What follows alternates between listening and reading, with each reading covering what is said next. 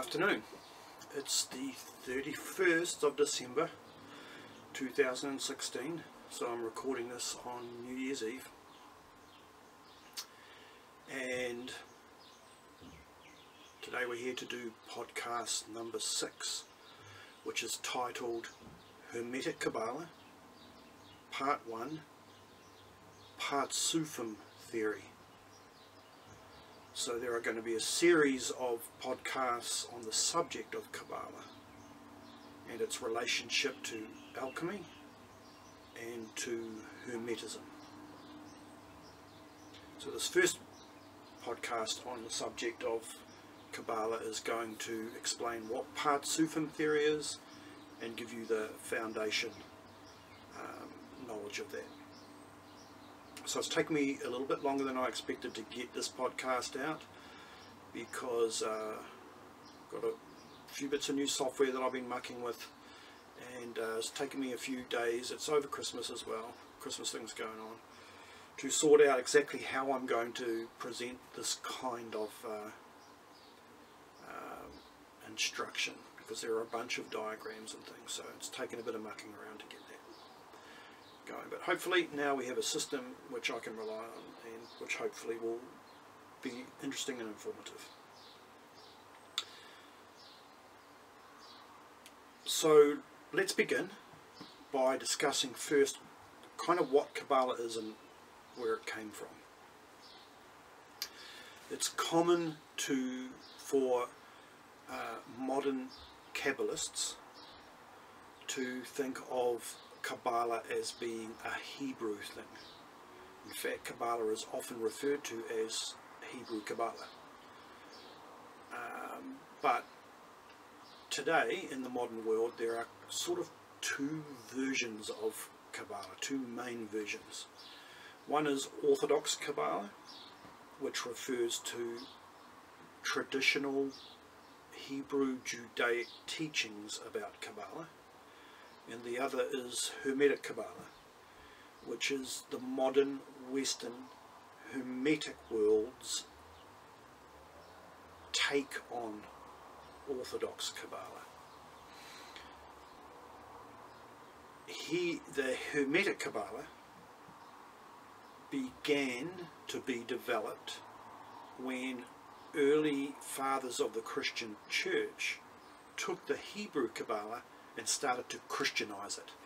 And so for quite a long time, some hundreds of years, we had uh, a version of the Hebrew Kabbalah called the Christian Kabbalah. And it was an attempt kind of by esoteric Christians to uh, justify Christianity by saying that Hebrew Kabbalah actually encoded in its message uh, the fact that Christianity was going to come about in the end. Um, then eventually, uh, much closer to our own period in time, Hermetic Kabbalah started to evolve. And this was an attempt at basically trying to strip away all the garbage of the old Christian and Hebrew Kabbalahs and get back to the root of the message. And the Hermetic Order of the Golden Dawn has probably done more than anybody else at establishing the kind of ground rules for what the Hermetic Kabbalah should be. So my personal view of Hermetic Kabbalah has a lot to do with what the Hermetic Order of the Golden Dawn said about Kabbalah. But first let's look at the Hebrew side of the history. Uh, as I said, a lot of uh, modern occultists, like modern Kabbalists, consider Kabbalah to be a Hebrew thing. But the fact of the matter is, uh, Judaism itself said that its religion, and therefore, by implication, its esoteric teaching, came from a dude by the name of Abraham, what they, who they called Abraham.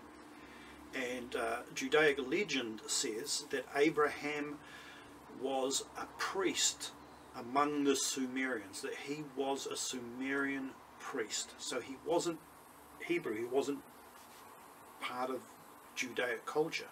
He was a Sumerian.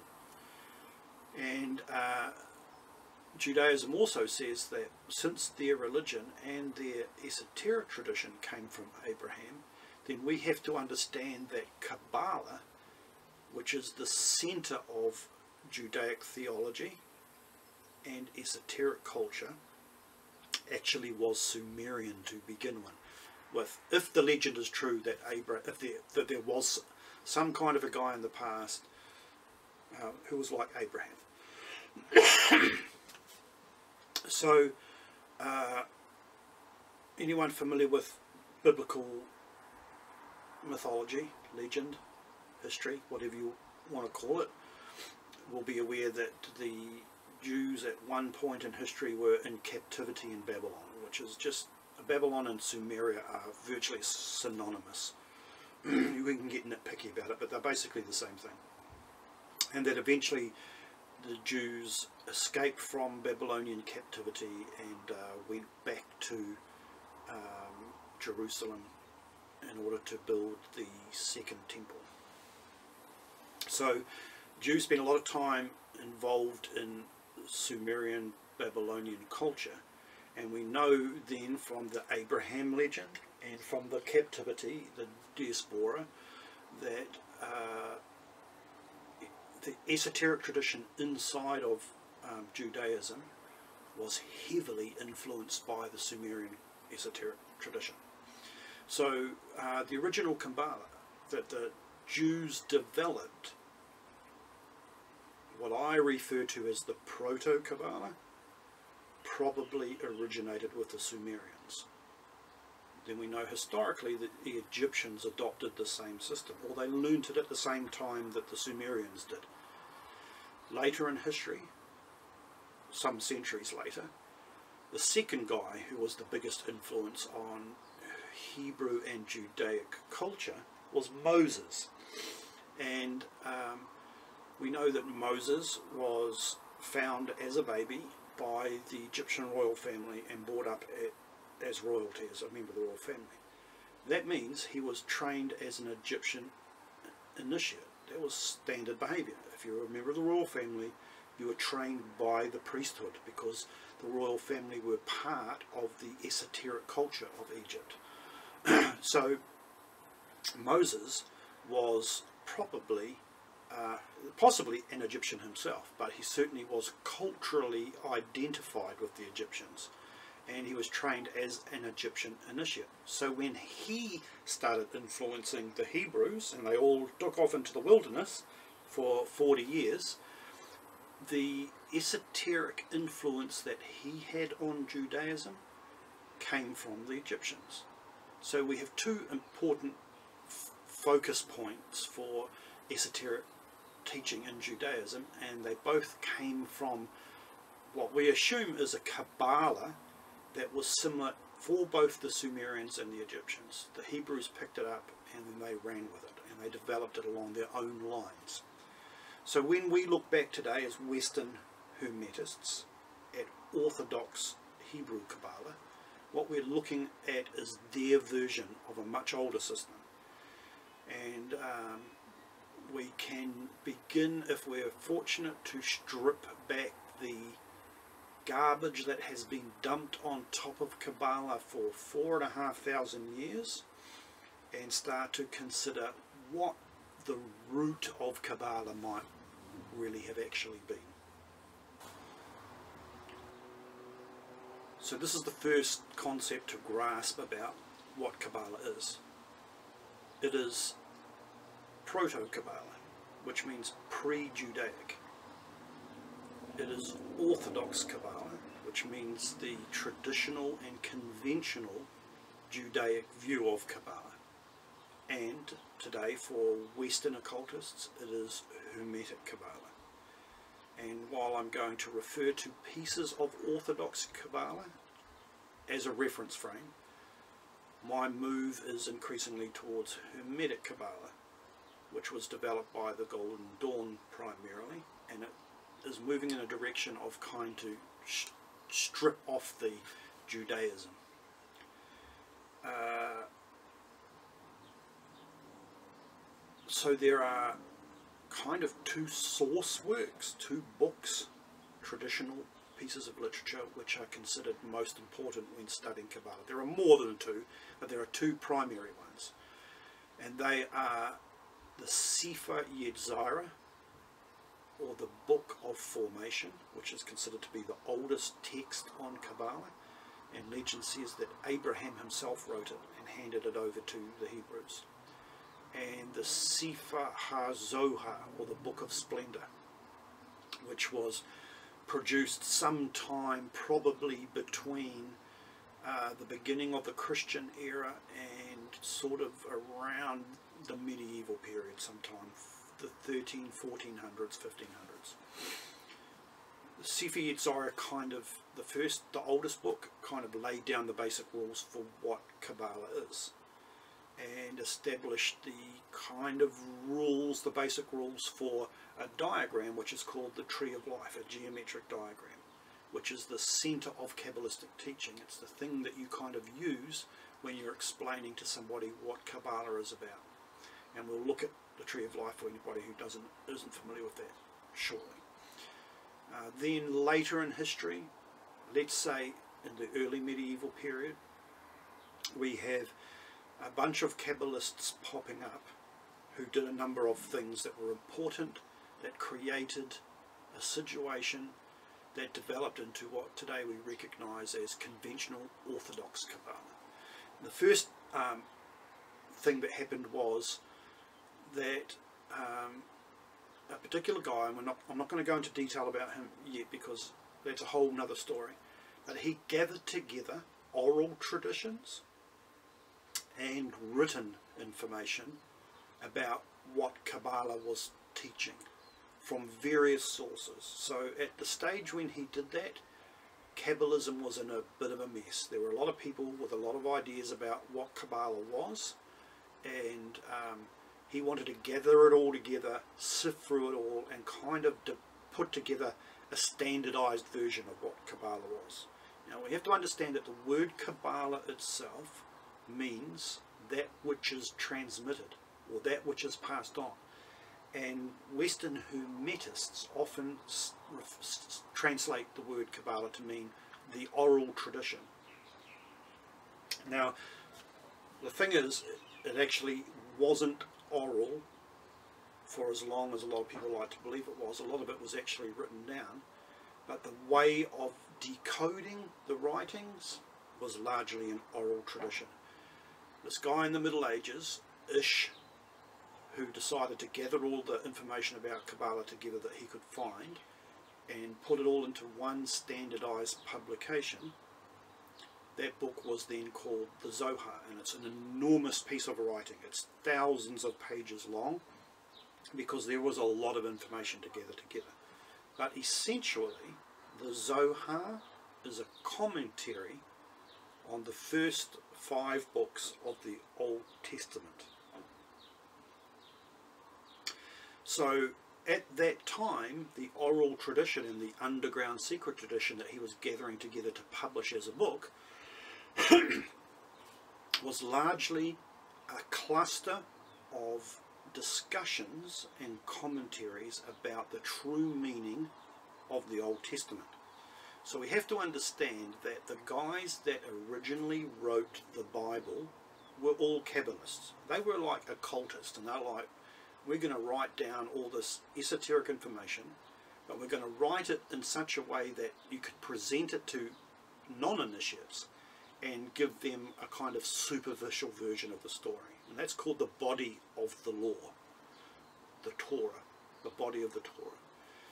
And there is also a soul of the Torah and a spirit of the Torah. But the most important other side of it was that below the, underneath, behind the uh, superficial story was encoded Kabbalistic information because those guys were Kabbalists and primarily they wanted to pass on Kabbalistic knowledge.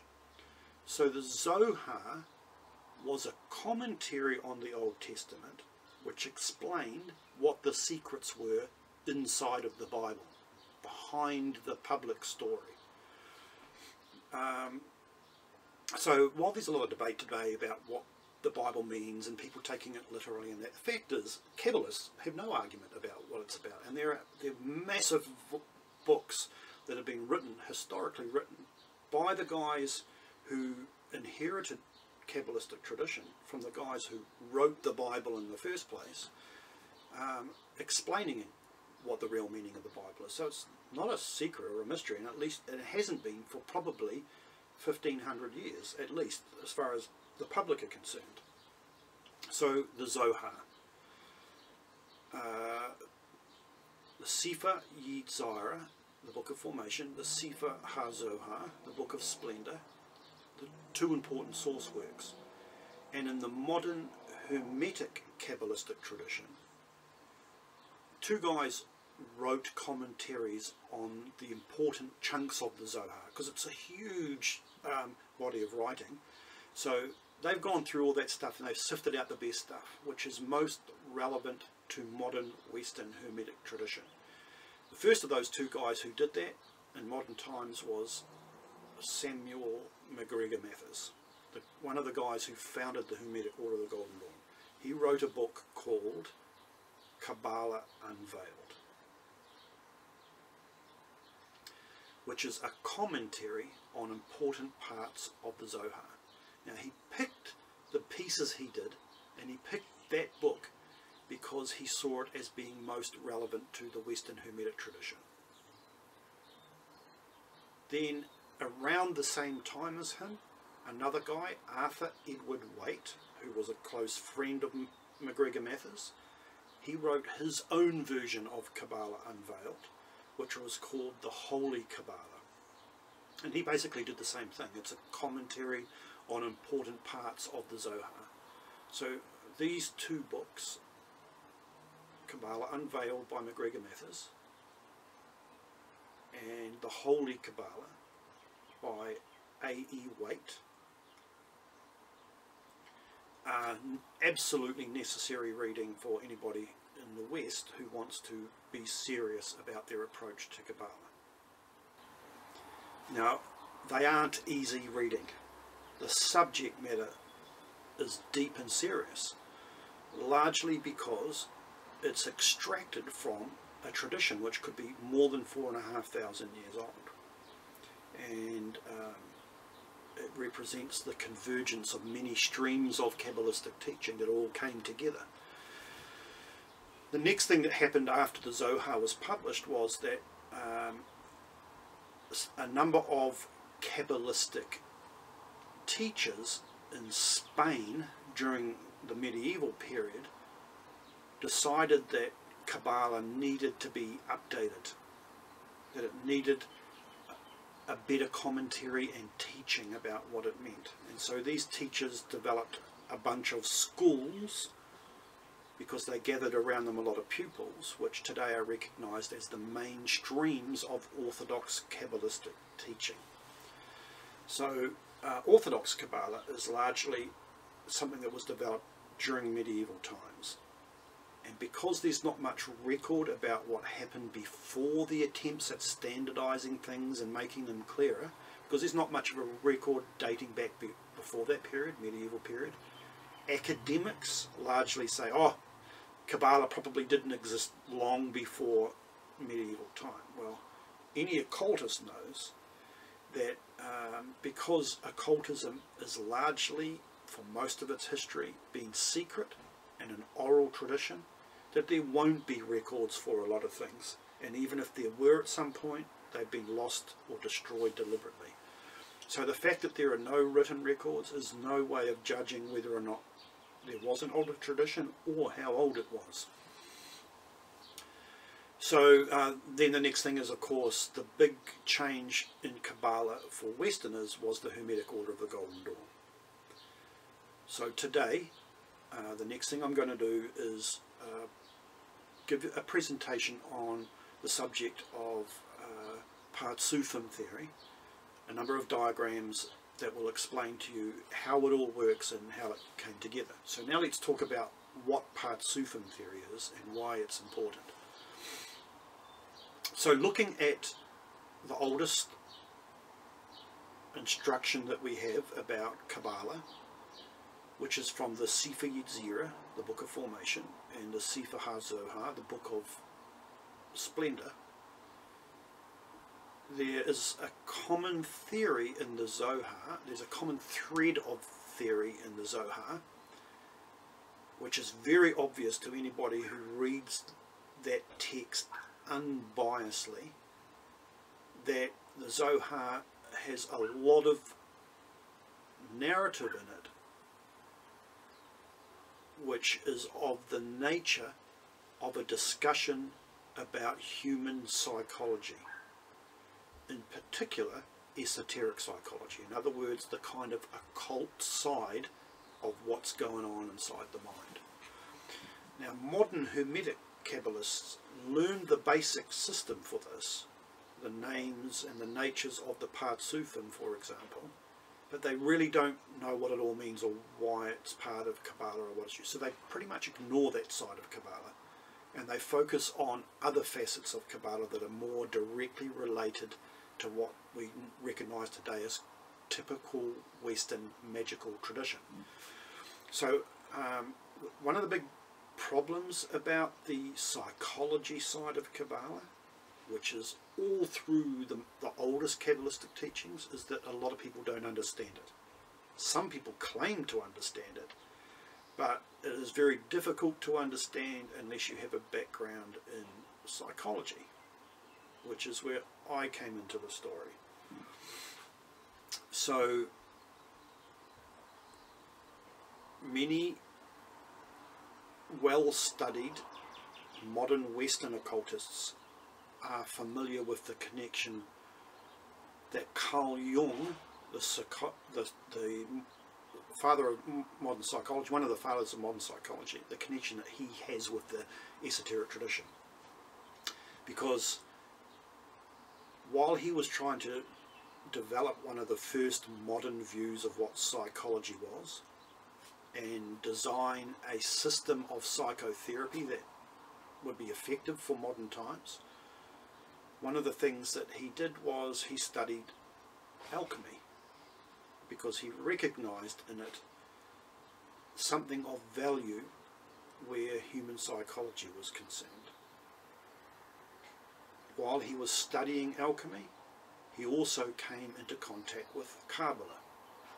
And so we find today, when we look at Carl Jung's system for psychology, that it contains a number of alchemical and Kabbalistic concepts. So this is the first really important thing to understand about Partzufim theory.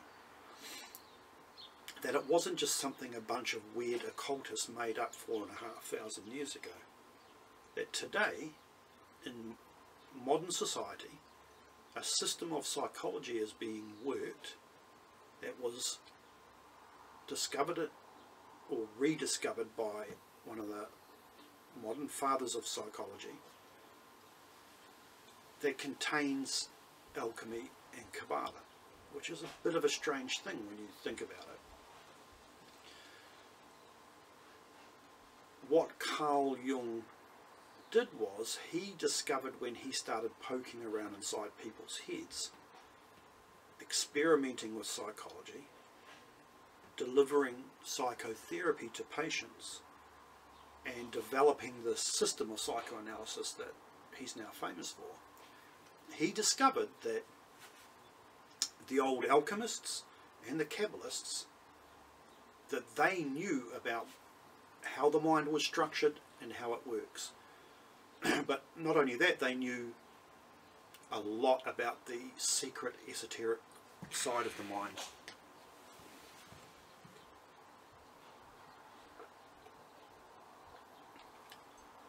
So we find a couple of important key things that are predominant in Kabbalah and in alchemy that are also in Jungian psychology.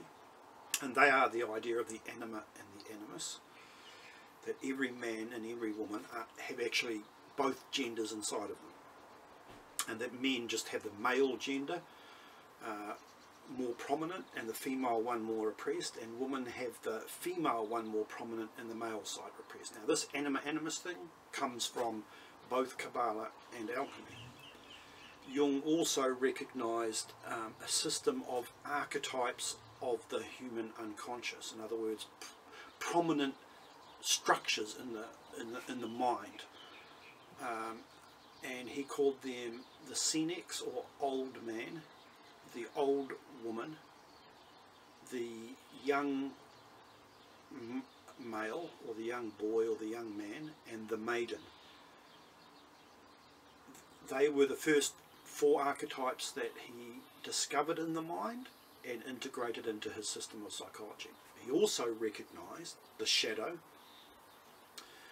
as the uh, focus of the dysfunctional side, dysfunctional side of the unconscious, and what we today call, what I today prefer to call the higher genius. Now, Jung didn't talk a lot about the higher genius, but we know today from writings of his that have been released in the last couple of decades that Jung was having a lot of experience with his own higher genius because of the way his psychoanalysis had affected him and also his students and his patients were going through the same thing. So we have a system where a modern psychologist who's very well respected and has what's considered to be a very spiritual form of psychology discovered inside the mind things that the Kabbalists had said were there and the alchemists.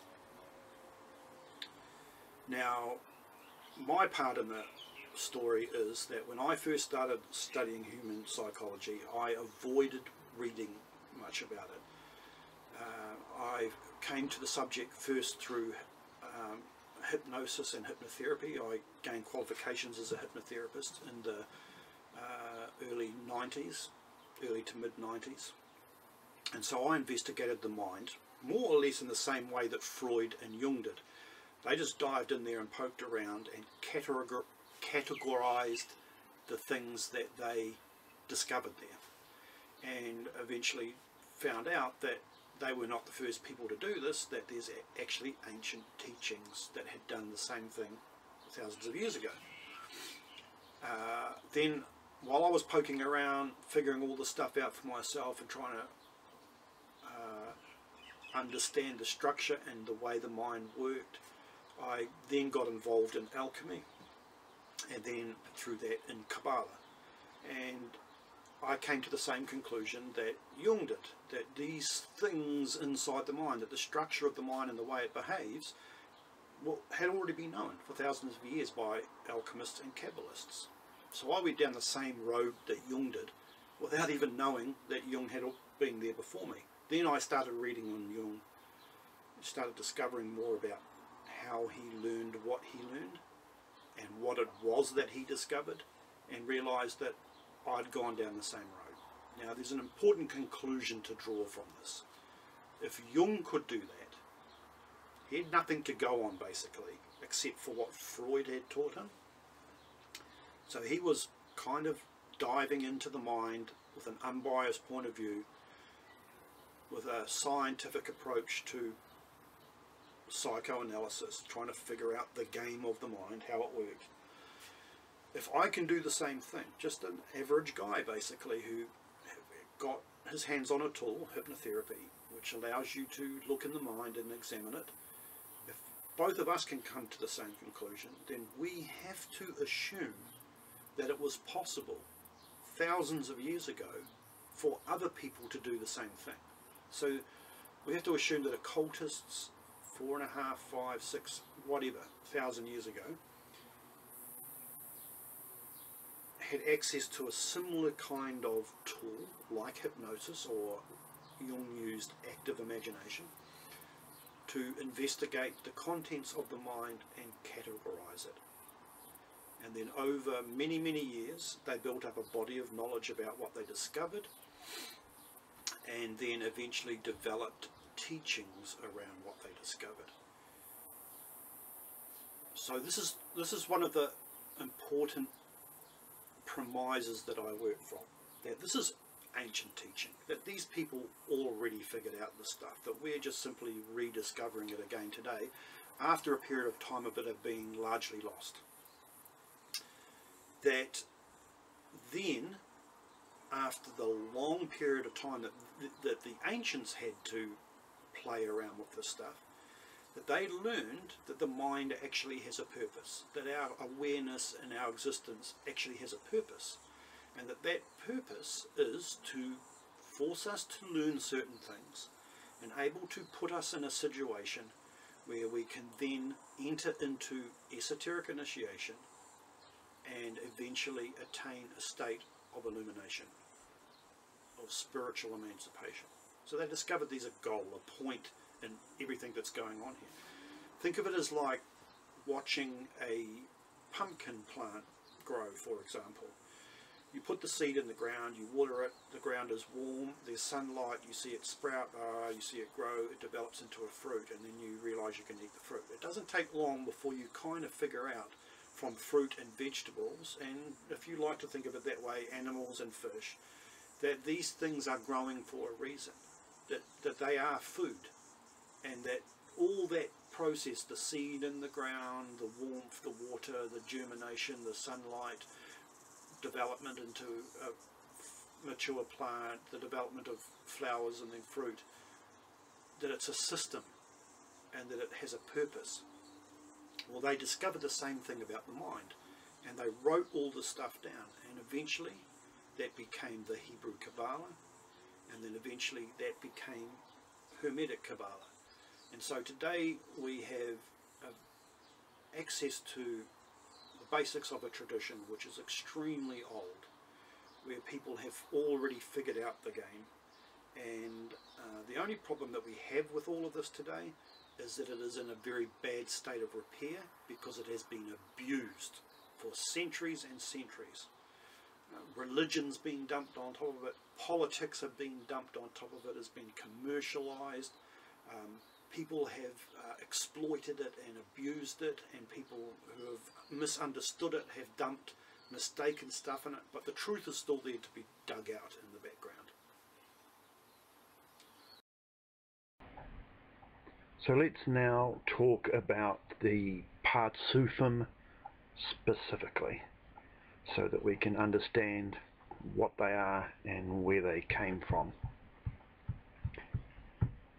So in order to uh, consider where the idea of the Partzufim came from, we need to turn to the Bible, the Old Testament,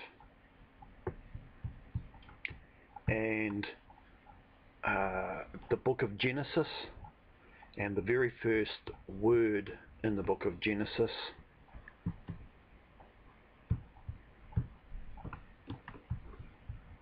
which is the word Bereshit. Here we can see it spelled in the Hebrew language. Hebrew is written from right to left and down here we can see the English translation of each of these letters. B-R-A-S-H-I-T-H, Bereshit and this word translates into English as in the beginning. So we all know, or we should know, that Genesis starts off with the sentence, in the beginning God created the heaven and the earth.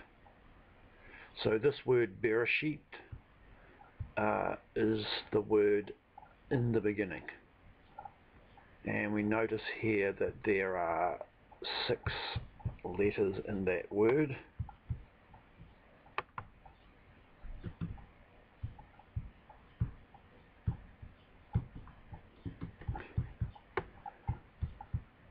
and so we end up with a scheme that looks something like this.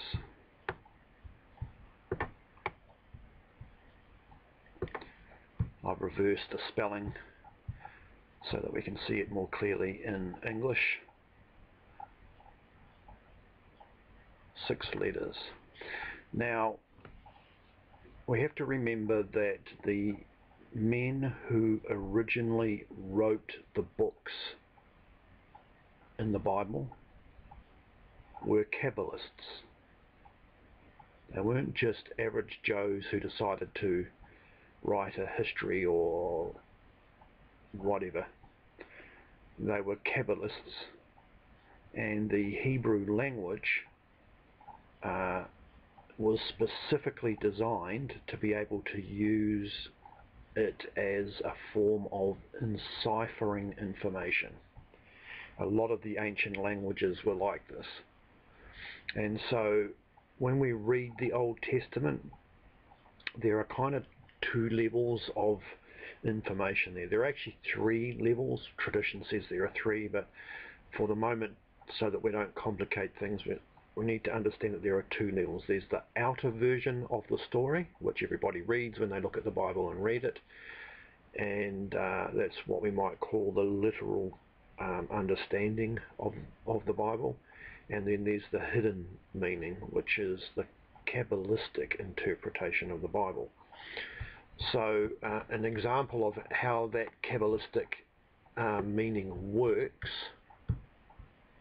can be seen when we take the word Bereshit and we divide it in two and we end up with two new words that are root words that make up that word Bereshit and they are Bra Sheet and these two words mean he created six so when we read the first word in Genesis, Bereshit, we can understand that there are two layers of information there. The first layer says, in the beginning. And the second hidden layer says, he created six.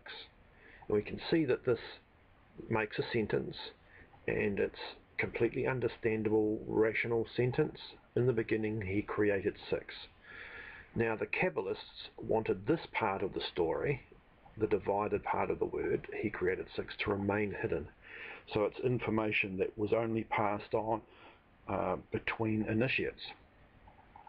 And uh, that information tells us that in the beginning, at the start of creation, God created six facets um, to reality.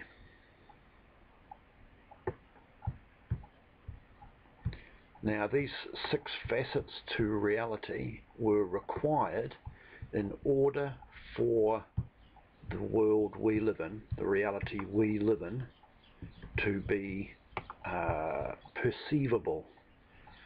So the first aspect of those six facets is three-dimensional space. That's one dimension through here, one dimension through here, and one dimension through there. Back and forward, left and right, up and down. And most people uh, who are aware of, you know, basic physics and navigation are aware that this can be pictured in the form of a cube.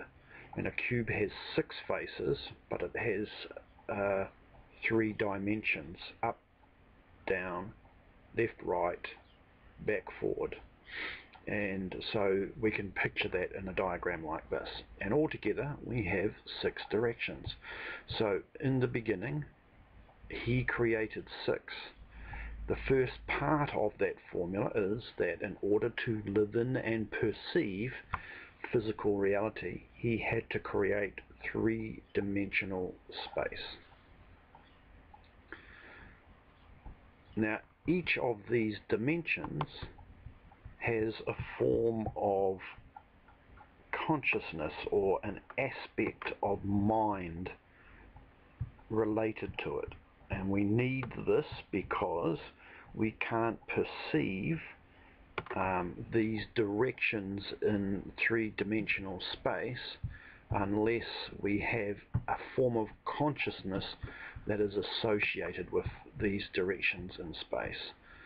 So we take the first three directions in space and we call them the higher functions and there are three forms of mind or awareness or consciousness associated with them and we we have these little interesting little icons that we use to picture them just to give us an idea in our mind of what we're talking about this first row of labels along the top here are the Hebrew names or labels or descriptions for these three forms of consciousness. Then under here in the next row we have the English translations for those names. And then on the bottom row we have um, what we might call the um, family attributions for those forms of consciousness because altogether these different states, these six different states of consciousness or mind, make up like a family unit. We look at um, these forms of consciousness in this way because these forms of consciousness also give birth to or are the source of um, the basic arrangement of our social uh, structure. So the first Hebrew word is Yakida, and that translates as unified mind. In the Yakida, all aspects of mind come together into one state. They're all unified in the Yakida. He is everything. He's the uh, sum total of the whole system. And the form of consciousness or the fam part of the family unit that we refer to him as, the, this is a term I most commonly use, is the higher genius. He's the highest form of intellect or mind or awareness.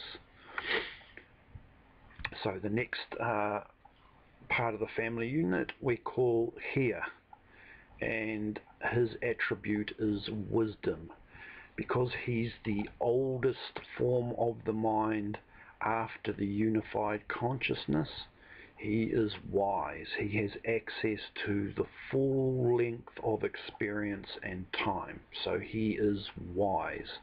And we call him the father mind. He's the father in the family unit, the oldest male member, the most mature male member. Next we have Neshama, and her mental attribute is understanding. Because she's the next oldest mental function to the chia she contains and possesses understanding. Because she's been around long enough that she's seen enough she understands what is going on. She has extracted understanding out of the human experience. And we also refer to her as the mother mind. So this is a unit, this is a unified state of consciousness, and when this state of consciousness divides, it first divides into this binary pair here, Chia and Neshama. We call this uh, first group of mental functions, the higher functions of the human mind. Actually, let's put them at the top.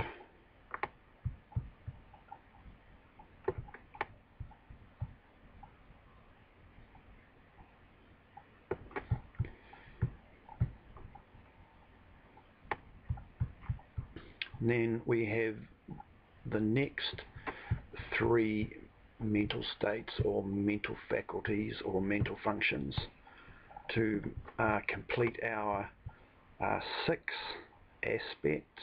Remember we had the six directions and these are the six forms of mind that are able to perceive and act through the six directions of space. So we have up here the mature masculine side of the mind, the mature pole, masculine pole of the mind, and here is his uh, opposite, the immature or um, freshly created or unevolved male state of the mind. The Hebrew name for him, the Kabbalistic term for him is Ruach, and he is the objective or thinking mind. The Ruach is the part of us that looks out into the exterior world, observes our environment, thinks about it, makes judgments about it, and then makes plans about it. The purpose of the Ruach, or thinking mind, is to create plans about our environment and our life in order for us to be able to survive in life. That's why he's there. He thinks about things and comes up with plans. In the family unit, he is the son, so he's the younger version of the father, the less experienced and more undeveloped version of the father. He also has the title of king, and his father is also known as the emperor. He is the king of the lower world. And because uh, he gets this title because basically his thinking mind uh, we're all aware that when we're walking around in our daily life the thing in our mind that we are most often aware of is the thinking mind. And we think of the thinking mind as being us our ability to think about the world to uh, function properly in the world and uh, we think of thinking as being the ruler of our uh, personality or our reality. That's why he's called the king. His partner, the other half of his binary is Nefesh and that translates in he from the Hebrew as uh, animal mind. In modern uh, psychological terminology, she is the unconscious mind. So these two together make up a binary pair, just like these two. And these two are the younger version, the less evolved version of these two. She's the daughter and the queen to his king. The third aspect of this lower uh, triad is Nakash. And in Hebrew the word Nakash translates as serpent.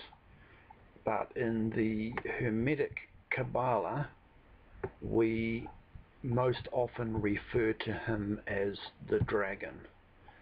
And um, in uh, Hermetic uh, mythology he is most often referred to as the red dragon and in Kabbalistic mythology he is sometimes referred to as the seven-headed dragon. So these three together, these three aspects of mind together are what we call the lower functions. Nakash also uh, has the attribute which we might call the divider or the separator. He is the function of mind that keeps these binary pairs separated, divided from each other.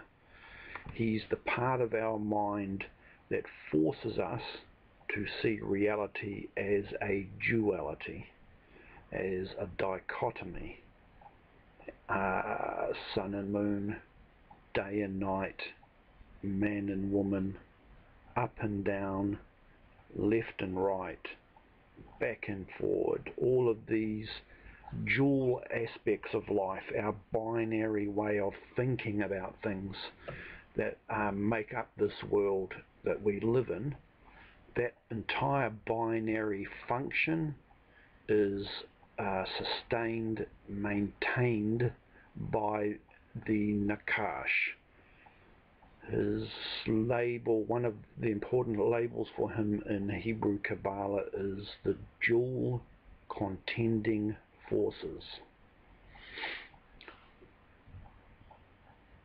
So these are the six primary partzufim, the six primary persona, the six primary archetypes of the human consciousness.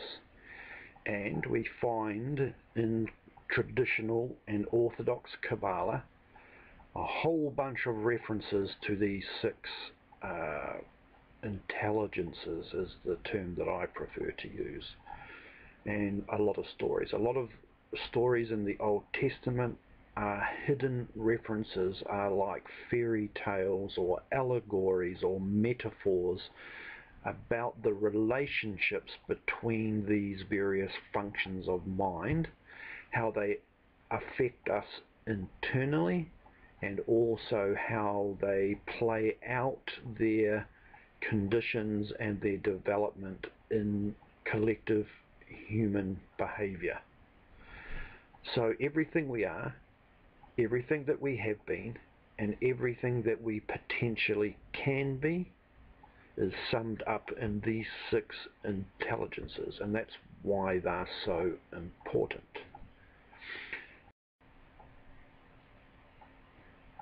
So now we want to look at the Partzufim, or the primary intelligences of the mind, in relation to the Kabbalah itself. And in order to do that, we need to begin some consideration about the Kabbalistic tree of life.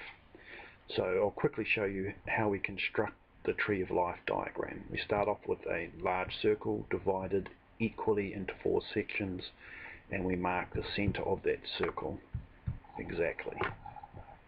And then we make three more copies of that circle and we line them up in this way. The top line of the second circle rests over the center of the first circle and the edges on both sides are lined up exactly and we want four of these. These are referred to as the great circles and also the four worlds of the Kabbalah. The idea being that physical reality or creation is composed of four conditions or states or worlds.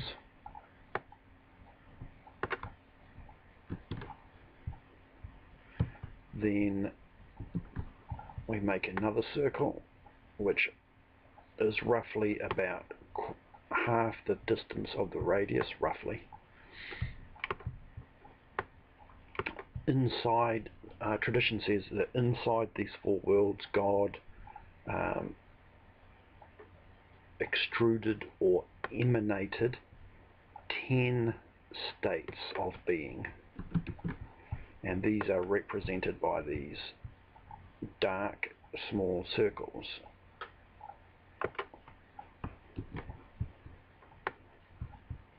In Hebrew nomenclature, they are referred to as Sephiroth, and a very uh, direct translation into English is spheres, the ten spheres or the ten emanations of God make up the tree of life. So we can see where these are placed.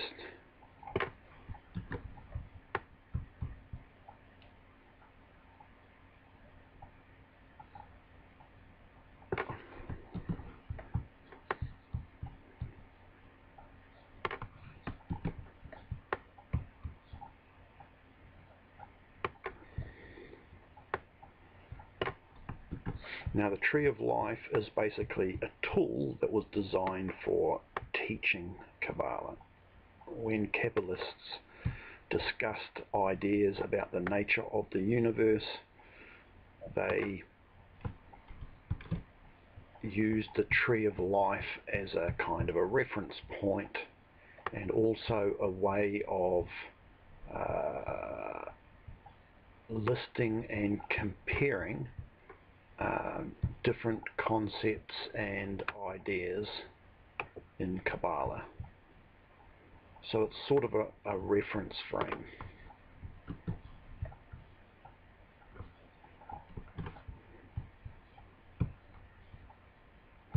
Now these 10 spheres are joined together by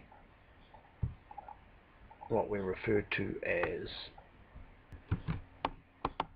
the 22 paths of the tree of life.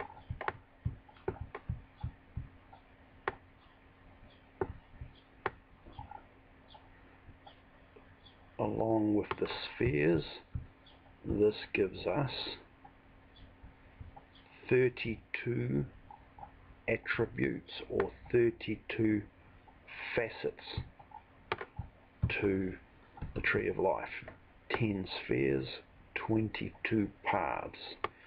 And the paths represent the relationship between the spheres. So for example, this little path here represents the relationship between the things that this sphere stands for and the things that this sphere stands for.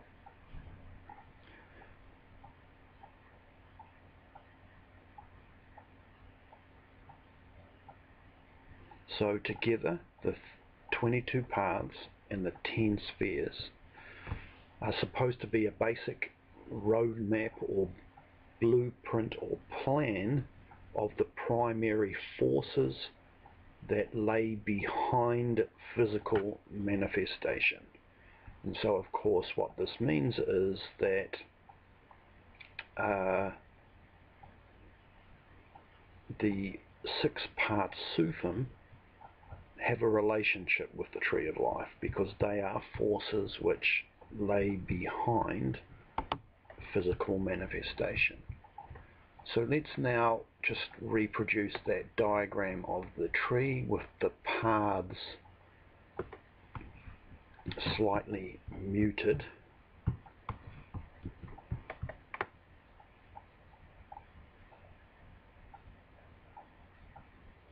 so that we can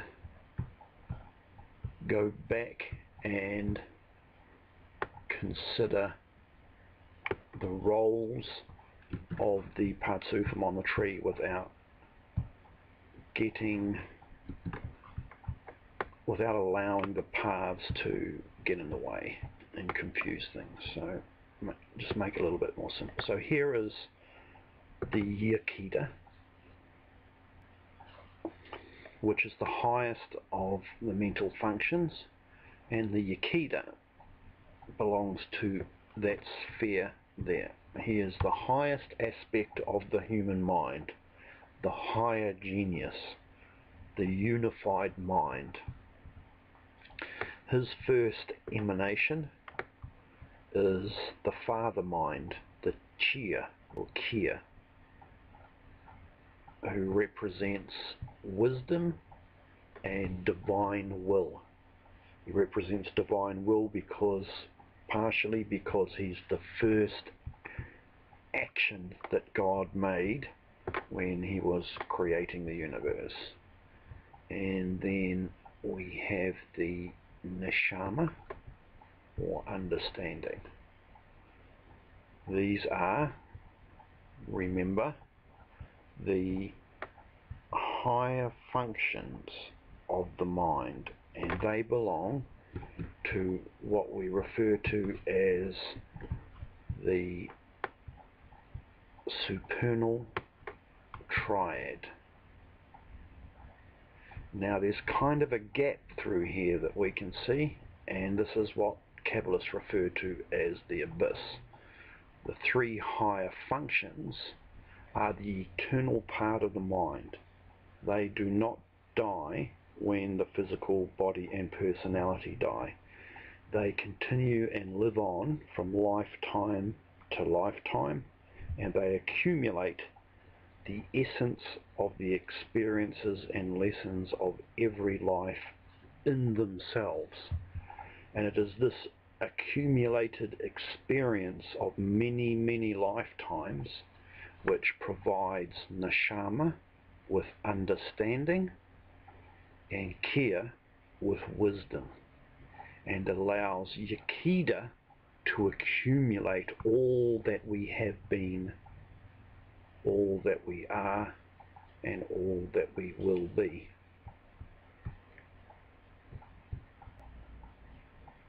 Our next consideration are the lower functions of the mind.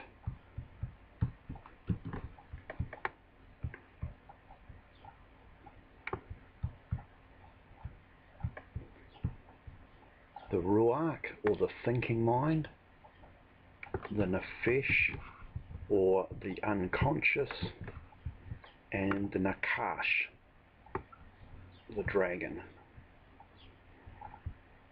So the thinking mind was also known as the son of Kia and Neshama and the king of the lower world is attributed to primarily to the central sphere in the tree here. But his feet rest in this sphere here and his upper functions, his higher functions, the peak of his skills and ability rest in this sphere here. His partner, the Nefesh,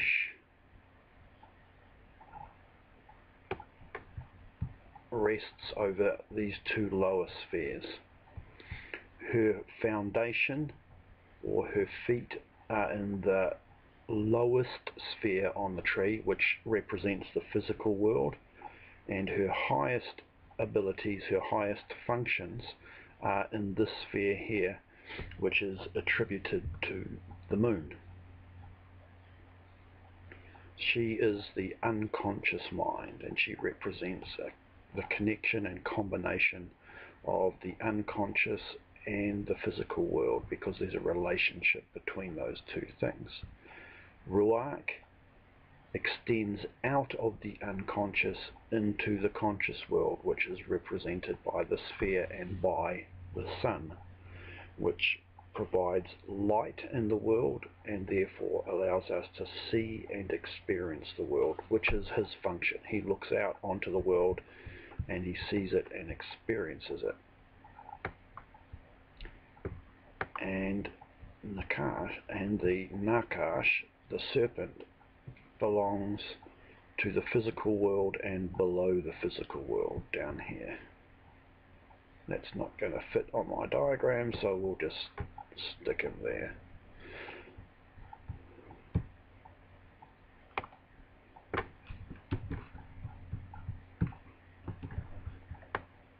So this section of the tree down here uh, is what we refer to as the lower functions from the abyss here all the way down to the underworld which is the serpent. So this is the basic diagram for how the Partzufim are overlaid on the Tree of Life diagram.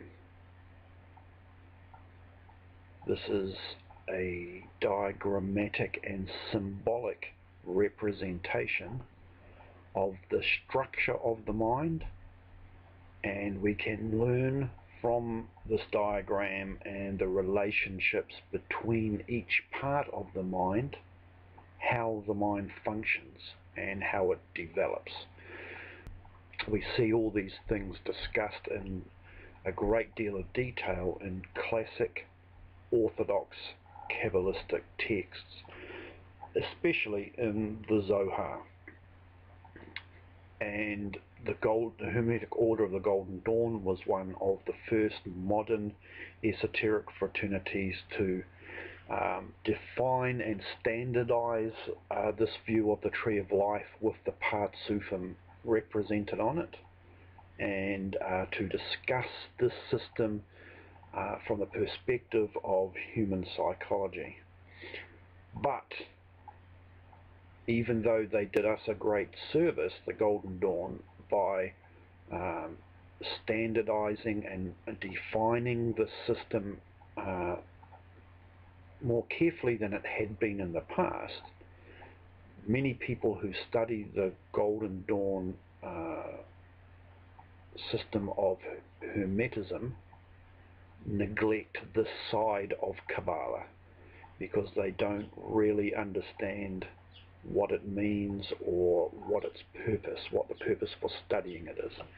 And the purpose is directly related to initiation. By understanding the relationships between these parts Partzufim, uh, we can uh, come to understand how the mechanism of initiation works, uh, what state we are in as human beings, and where uh, that state that we are presently in is developing towards. This is one of the things which I'm going to be uh, dealing with in the coming podcasts. We're going to talk about all of this in a lot more detail.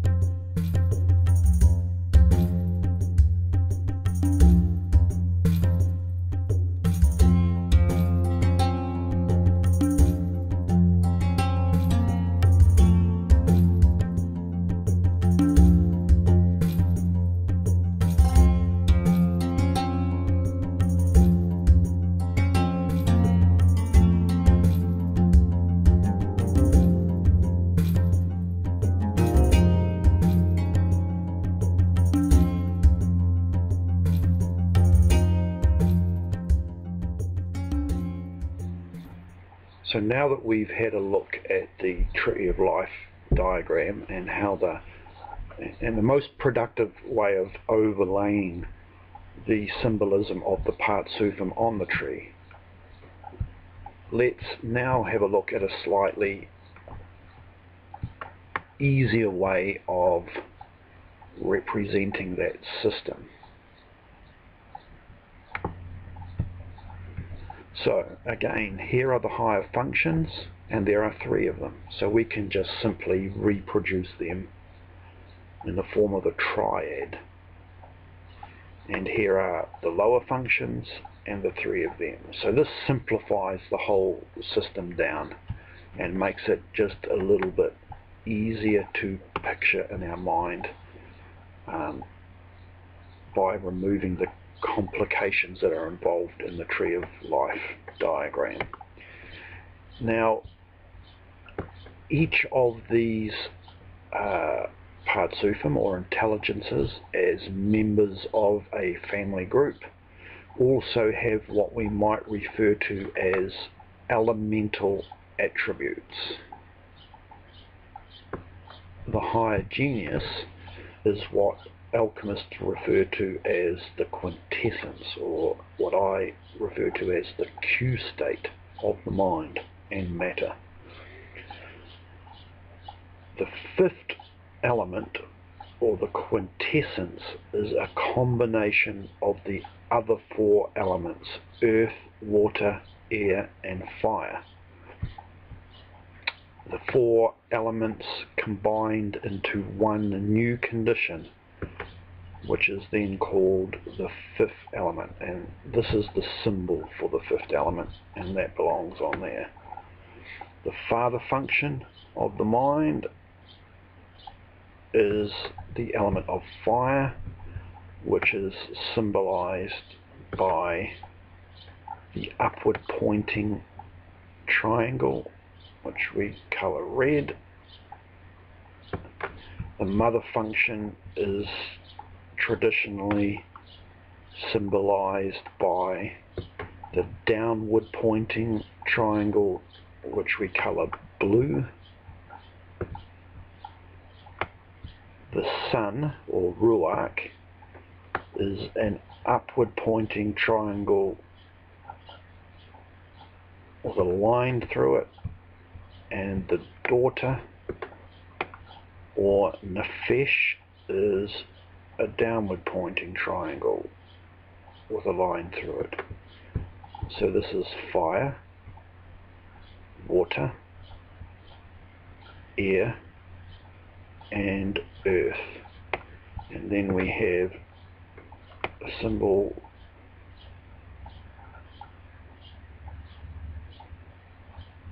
for what alchemists refer to as the terra damnata, or the corrupt earth. So we can see uh, more clearly the higher functions as a triad, the lower functions as a triad. We can see how they relate to the alchemical elements and here this dashed line through the middle tells us that the higher triad of the higher functions of the mind is connected to the lower triad uh, through the thinking mind and understanding the neshama. She's the lowest function of the higher mind. So she's closest to the physical universe. He's the highest function of the lower mind. So he's the closest connection to the upper level and the abyss of course goes through the center here. So this diagram can help us when we're discussing the subject of the Partzufim, their relationships to each other and how they are arranged together uh, to more easily picture those relationships in our mind without having to deal with the complications of the tree of life diagram always and here on the left of the page we can see that those two triads are interlaced together and the whole thing forms a functioning living system.